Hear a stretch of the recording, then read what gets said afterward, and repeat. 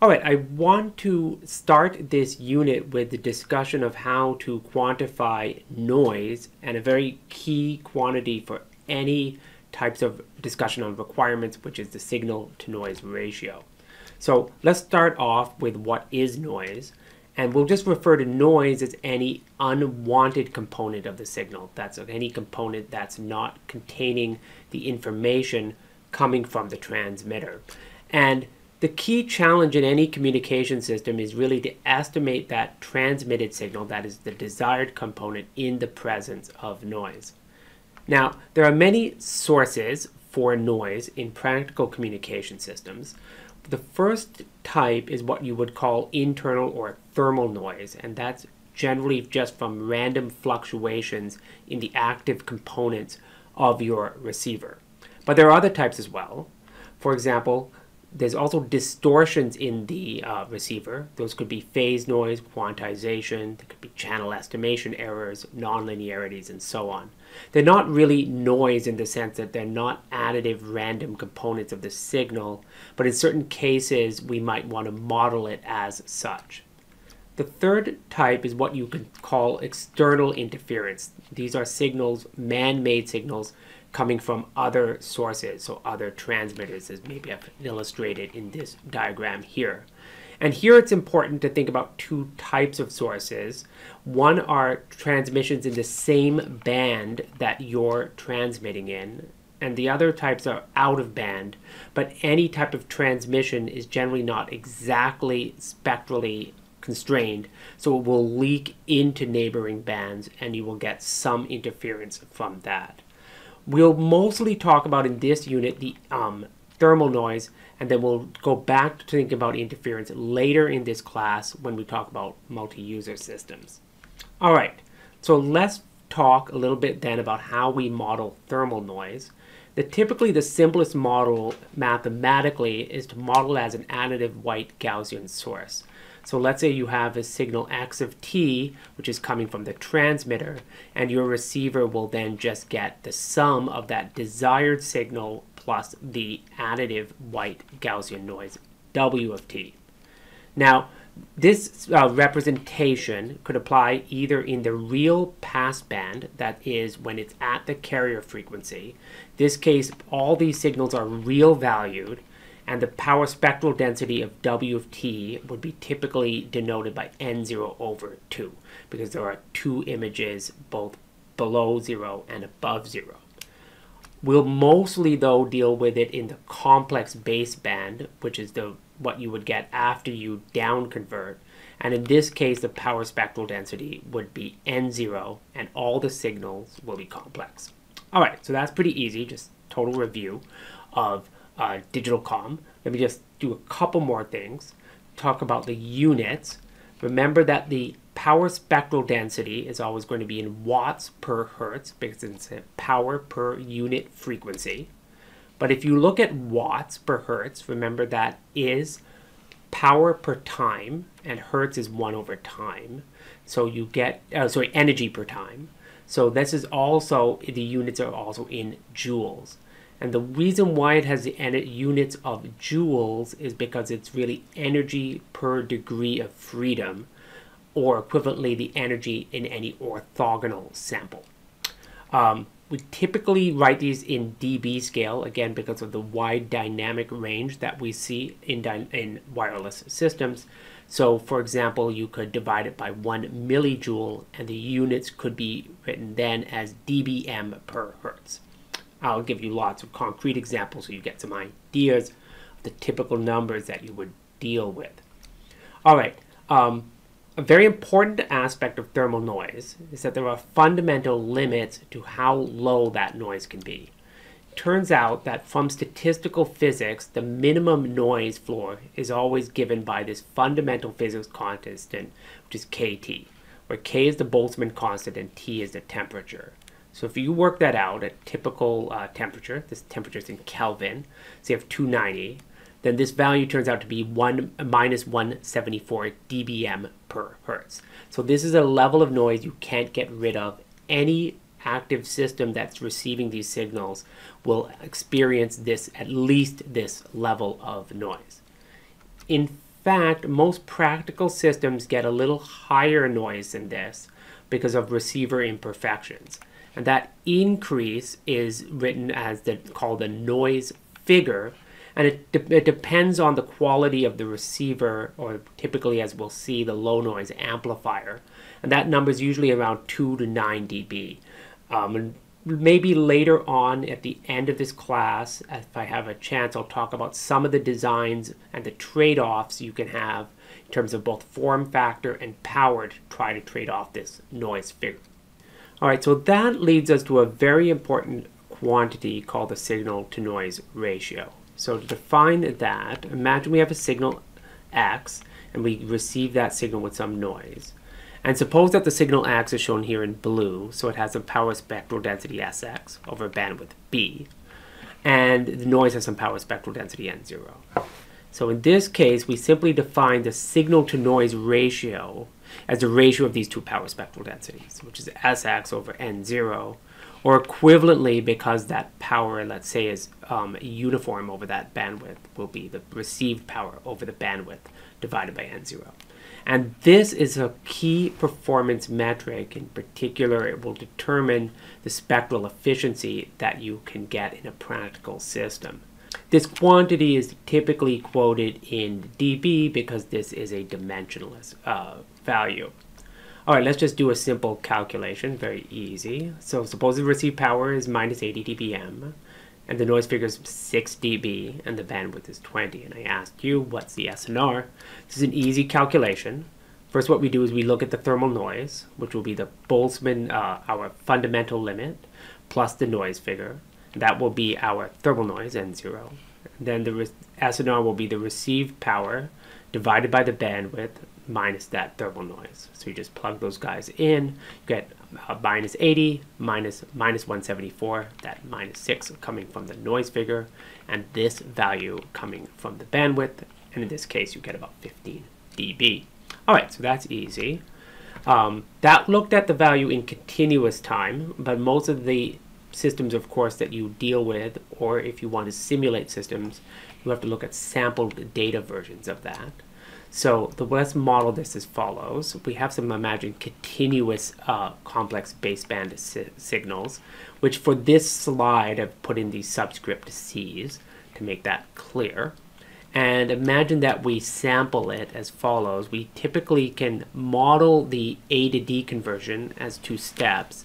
There's some receive filter, which I'll denote by PRX, and then some kind of ideal sampler. All right, so that's a typical model for an ADC. All right, and then in discrete time, of course, the final samples R of n will have two components, one coming from the signal x, which I'll denote by x of n, and one coming from the noise, which I'll denote by w of n. All right, the um, analysis of the S and SNR in this is pretty easy. So here's our signal in continuous time again. And let's just to make the analysis easy, I assume a kind of an ideal low-pass filter. So it's basically a sinc uh, convolutional kernel. And so that's getting the data in some uh, bandwidth B uh, centered at uh, zero, in this case, because it's in complex baseband. All right, the first thing to observe is that if the signal, original continuous time signal, is entirely contained in this band, then the energy per sample of the output um, uh, R of n will be limited, will be exactly the received signal power times the time uh, duration of that sample. So it's just ES is PRX times T. Now, I actually, if we take the digital com class, I'll go ahead and show all these formulas, but you can see, you can understand these formulas just uh, qualitatively here. Um, the other part is that uh, since we have an orthonormal um, filter here, that the noise energy per sample will also be N0. So this is why I was saying that you can think of the N0 either as a power spectral density or you can think of it as an energy because it's the energy integrated in any orthonormal sample. Okay, and from this then we can get the resulting SNR in discrete time, which will just be ES over N0 and plugging that in, we can get that as, for example, the received power over the bandwidth times n0. And that exactly corresponds to that continuous time definition that I gave earlier.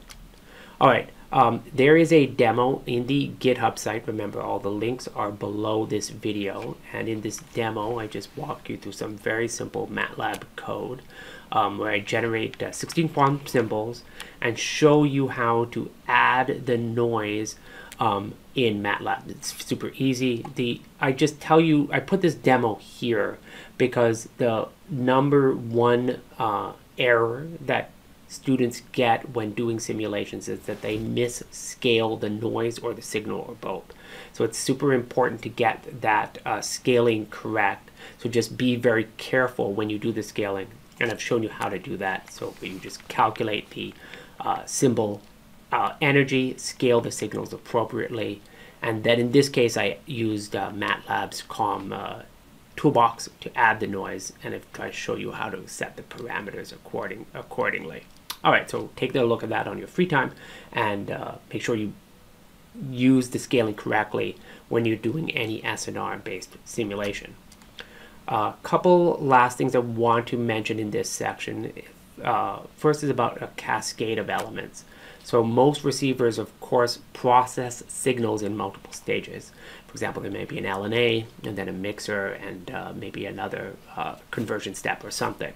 Right now, the way that we model this is that each stage will typically have some gain, we'll call that GI, and also have a noise figure. And what we're interested in to know is what the end-to-end -end gain and noise figure is.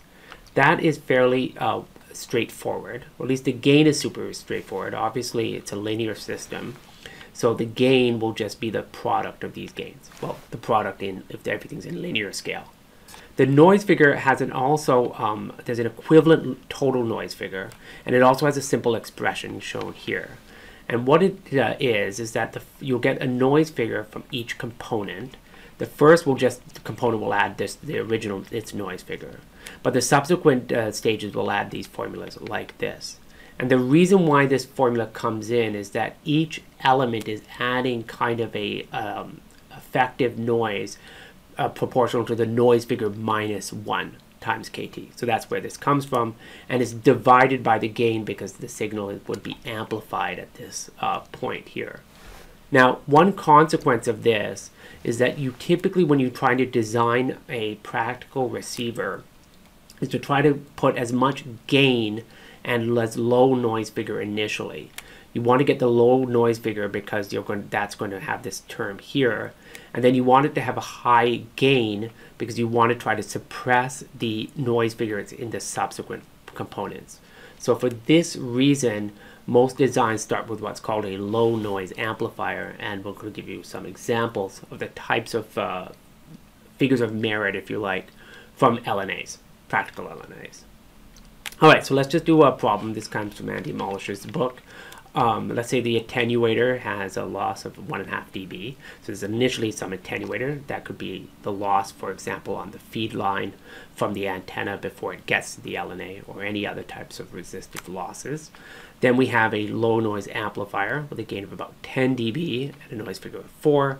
And then a mixer, which is um, which has unit gain in this case and a noise figure of 1 and then I want to know what the total noise and gain.